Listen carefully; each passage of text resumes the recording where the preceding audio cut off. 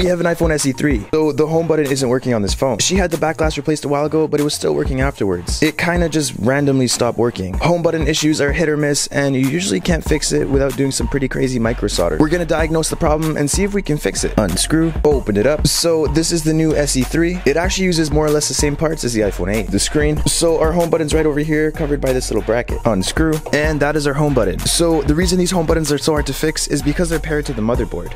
If you do replace it, you'll always lose Touch ID. Only Apple can pair these home buttons to those motherboards. So what we'll do is we'll look for any tears, and it honestly seems perfectly fine. Because this home button is connected through the screen, then to the motherboard, we can try a new screen and see if that fixes our problem. Remove the home button, we'll connect it to a new screen, install the new screen, test it out, and the home button is working. She got really lucky. We're gonna ask her if she wants to replace the screen and go ahead with it.